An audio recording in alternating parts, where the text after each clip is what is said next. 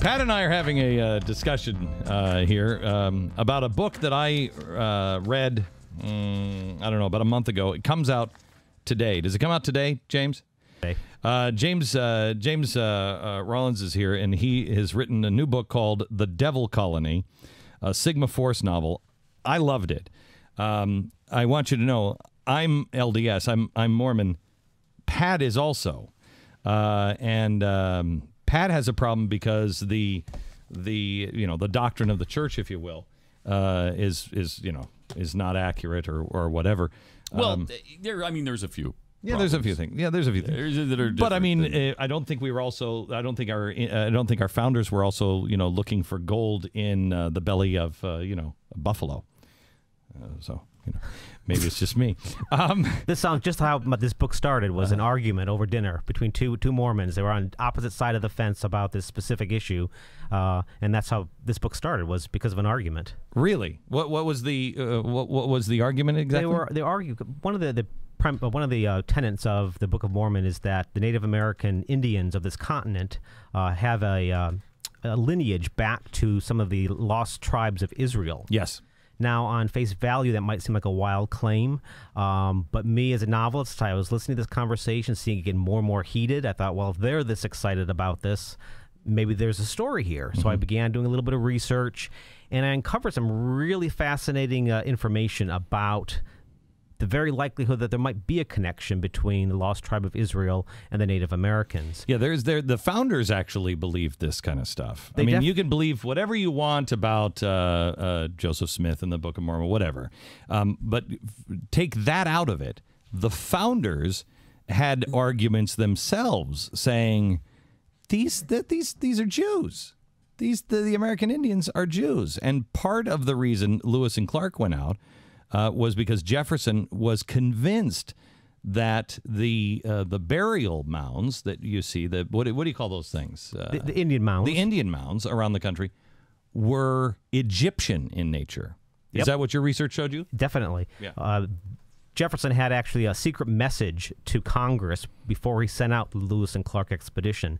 Um, it was only released to the Congress. No one else knew about it. And basically, it was admitting that he was sending this expedition out uh, as. Uh, as basically spying on the Indians, trying to find out really where are they from, what is their origin. Uh, so he was fascinated by that. Now, have you seen that message? Uh, How do you know that that message existed? Oh, it's in the it's in the historical record. It's from 1803. Uh, the, the you can actually read it online. They have the you know the the entire message has been uh, been released. You can read it. It, it is amazing to me that um, uh, we have wiped out so much of the Indian history, uh, starting with Andrew Jackson, who I think was just an evil SOB. Um, but it, it's amazing how we wiped all of this, how this just was lost. All of a sudden, it, it was just, um, uh, we buried all of the. Um, all of the things that would make one curious about what was this civilization that was here. It, I mean, I'm going to give you one example. By the way, I, I, one of the reasons I wanted to come to this studio today Yeah. was the origin of this book started actually in this studio. I don't remember two years ago when I was promoting uh, the Doomsday Key and I came to your to your studio. I had a, co- a copy of Common Sense. Uh, I had not. I hadn't even started the Next Sigma novel, but I had read that and I thought, there's a story here. I want. I want to do more research. You know, Washington seek the truth. I thought I'm going to seek the truth, find out Wow. more about the founding fathers. Wow. And that's when I discovered that connection between the founding fathers and the Indians. And the more I looked, the more that connection became deeper and deeper. And I found out basically that there's some evidence that the Iroquois Nation, which was a group of six tribes, warring tribes, that banded together to form a union 250 years before the founding of our country, formed their own little constitution, and that that constitution influenced our constitution. Okay. I talked to David Barton because when I read your book, I talked to David Barton and I called him up and I said, "You know who he is?" Yes, I do. yeah, and I said, "David, the Iroquois thing." He said, "Absolutely untrue." He said there are there are people that fight and say that it is true. He says it's not. What what is what is your evidence? the that? Iroquois influence theory. Um, back about maybe 20 years ago, it was very well accepted. Then it sort of fell out of favor, and now it's becoming a bit more in favor. And I'm not going to argue whether how much that the Iroquois influenced the Constitution. I believe that they did influence. And let me use one example. John Rutledge, uh, the South Carolina delegate to the Constitutional Convention, stood up in front of the convention and said, "Okay, I'm going to read from this Iroquois Constitution. These are the words he read. we the people to establish a union for peace, equity, and order, which is almost word for word to the preamble of the Constitution.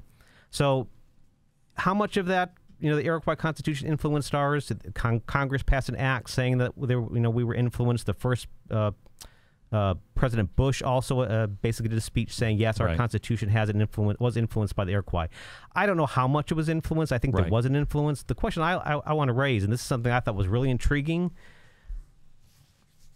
definitely uncontestable that the Iroquois had a very unique system of government. Uh, they were they basically were a representative form of government. Uh, women were involved in their government. It was very egalitarian. Uh, where did that come from? 250 years before, there was no type of government like that anywhere in the in in uh, in the world except on this continent. And where was it located? It was located in what would eventually be the backyard of the 13 colonies. They're right next door to us why did that happen? So I did more research into that.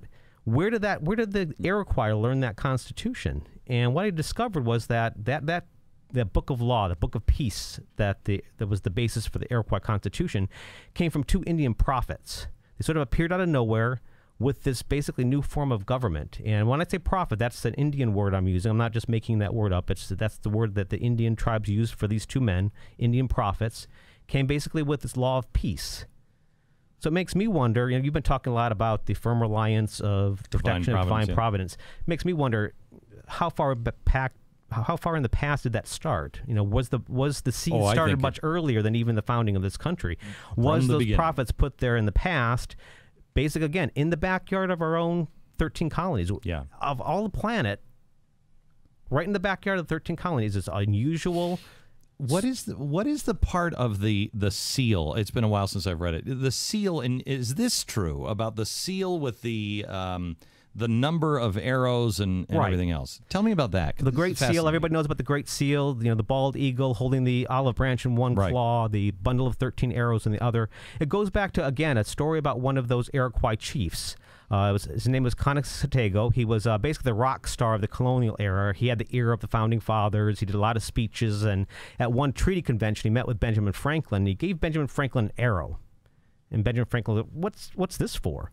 And then he took it back and he snapped the arrow in his hands, and gave the pieces back to Benjamin Franklin. And then he turned around and grabbed a bundle of 13 arrows tied together. He tried to break that across his knee, they wouldn't break. He handed that bundle of 13 arrows to to, to Franklin and said, you know, these squabbling 13 colonies are never going to last. You're only going to be strong if you unite as one. That so impressed Franklin that he wrote about that speech. He published that speech. You can you can actually go online and read that speech. And Franklin was uh, one of the um, designers of the Great Seal. He was one of the committee members to design the Great Seal. Which, by the way, going back to the the earliest forms of those Great Seals, also uh, were tied to uh, to the to Moses. to, to Jewish history. They had the one of Jefferson wanted uh, the uh, the Jews in the wilderness. Uh, Franklin, I think, wanted uh, a, a different version of it. Basically, again, tying that all together back to the beginning. But again, Franklin was involved. That's why we have those 13 arrows clutched in the claw of the Great Seal. It is a, a- a- is, is, is is honoring that that that suggestion that they had to unite together. It is not. Uh, it, it is not. And I, I've, I, I hesitated. I told um, uh, when I reached out to you and told you that I, I love the book. I, I, um, um, you know, send the message that uh, this isn't something that I'm. Um, I'm comfortable with saying to you know a mass audience, hey, because you know it doesn't it, it, it doesn't necessarily reflect on my personal faith in an accurate way. But I enjoyed the book a great, great deal. Well, that was the one thing is uh, you know, I'm writing this book for entertainment. I hope to you know maybe cast a little bit of light on on some you know mysteries and some some questions about the founding of this country. I think the I, I think the um, the relationship, and I've done a, a, a broadcast on this before. The relationship of our founding fathers with the Indians um, needs to be explored um, because we have so with Jackson we so wronged um, the Indians and uh, we erased their culture, um, and we have to see that there that we were not a country set up against the Native American. The, many of the Native Americans helped and um, understood freedom, perhaps um, even better than than uh, than we did. Yep. I totally agree with that. Yeah, and if you look at if you look, William Penn was a was another one that really understood it and got it. The name of the book is The Devil Colony. I, I really thoroughly enjoyed it. Um, the Devil Colony, a Sigma Force novel. Um, it is available in uh, bookstores everywhere. If you are somebody that uh, has an open mind and wants to look at history and say, "Whoa, wait a minute," if you're somebody, I like to read books that drive me online and uh, make me look things up and say, wait a minute, hold it just a second. Is that true? Is that true? Um, this is one of those books, The Devil Colony, uh, available in bookstores everywhere. James, thanks a lot. Thank you. Appreciate it.